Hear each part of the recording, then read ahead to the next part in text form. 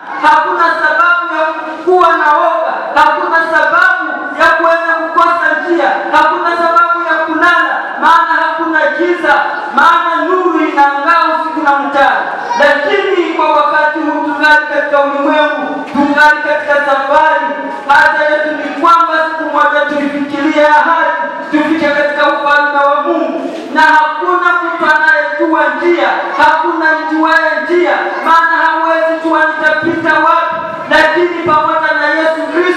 ambaye ni nuru, ambaye ni mwangaza, ambaye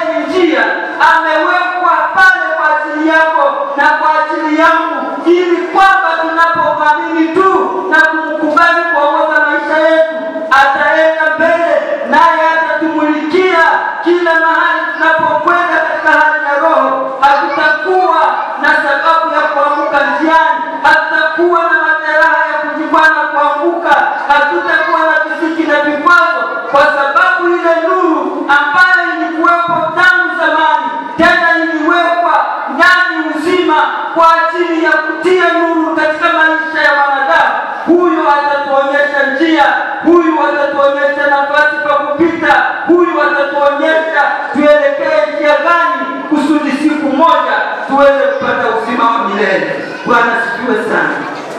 Kama unaikana katika mkutano huu, fikiri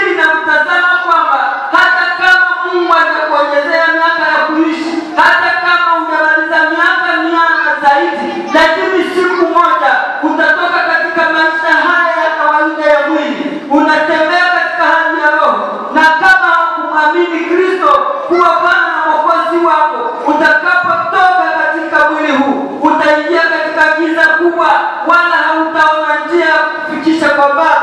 Lakini kama umemwamini Kristo kuwa Bwana na Mwokozi wako, kuwa kiongozi wa maisha yako, hata kama siku yako ya kutoka katika mwili huu inaweza kufika magharibi wala jioni, utamkutana mwamba mkubwa ambaye ni Kristo anakuambia, pita mbele, twende uende katika ufalme wa Baba aliyokuandalia tangu milele.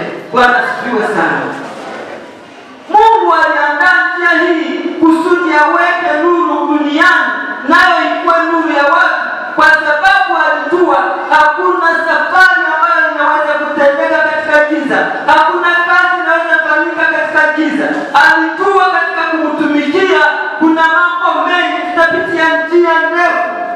tutapitia njia ndefu, lakini katika njia hizi zote tuna haja ya kitu kimoja, nuru itumulikie, iangaze mbele zetu, mahali tutakapokanyaga, tukuwa tuko tunaona huyu anapita wapi, ninapita wapi na ninaenda wapi, na siku moja nifikirie uzima wa milele. Shetani anajua kwamba Mungu ameweka nuru katika maisha ya kiroho, maana shetani anajua kwamba mwanadamu amewekewa uzima wa milele. Hii haiko siri mbele ya shetani, anaijua kwa kweli, na ndio sababu hakuweza kulala usiku na mchana.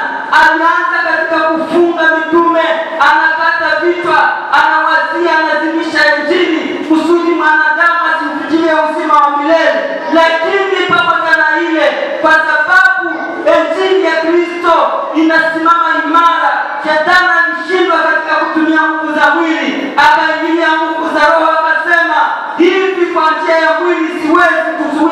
kuzuia kabisa, acha niingie kwa njia ya Roho, kwa sababu nami pia ninatumika kiroho, ili kwamba niweke vikwazo, niweke mashimo katika njia, na kila mtu ambaye ataenenda wala hakuijua siri ambayo Kristo ameweka ndani ya ulimwengu kuwa nuru katika kuwaongoza watu wake, huyu atakapopita kwenye shimo ataangukia ndani, na yule atakayekuwa na bahati basi ya kutambua Kristo alikuja namna gani, anayemwamini anamwamini kwa sababu gani, na uzima wa milele unapatikana kwa njia gani, njia ni ipi ya kupitia, huyu hasa akiponyoka. Lakini nihakikishe kwamba kuna wengi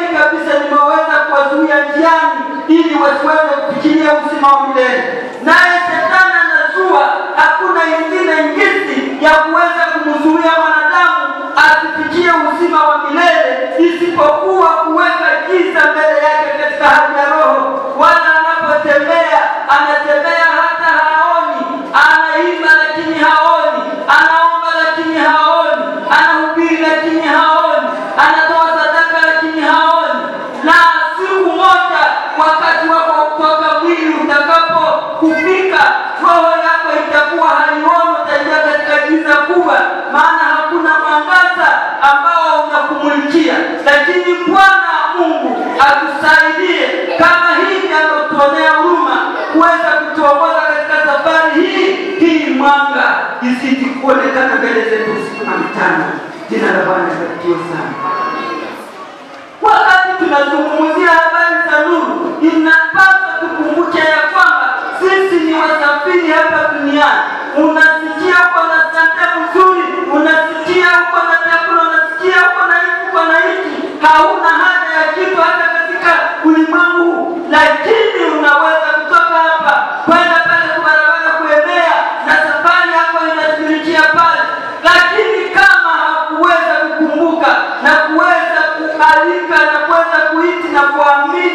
huyu nuru wa kuongoza katika maisha ya roho, kwa kweli mwili wako atakapofika kwa mwisho wake na roho yako itaingia katika giza, wala hautauona uzima wa milele. Maana uzima wa milele, ile ahadi ya Kristo, ameahidi kwamba atakuja kuchukua kanisa, kuweka wateule mbele za Mungu. Hakuna juaye njia isipokuwa yeye mwenyewe. Yeye ndiye njia, kweli na uzima. Kila mwaminie hawezi kwenda gizani, na kila mwaminie atamuongoza na kumwonyesha njia mpaka anamfikisha katika uzima wa milele. Jina la Bwana libarikiwe. Kama umekuja mbele za kanisa hili, mbele za Mungu, umekuja kuomba Mungu, umekuja kumwabudu Mungu, umekuja kumtolea sadaka, ni vizuri, lakini katika maisha yako ya kiroho kuwa kunahitajika Kristo kuwa nuru ndani yako, anayekuangazia.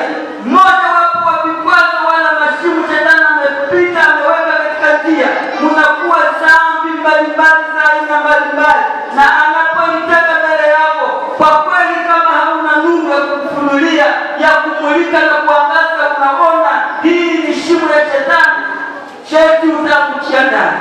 Wengine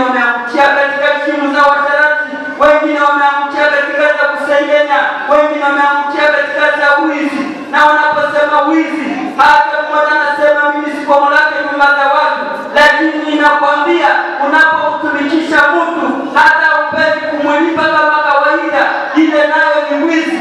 Nakwambia hata unapopata mapato yako au pata kumi kama vile inavyopasa, ile nayo ni wizi.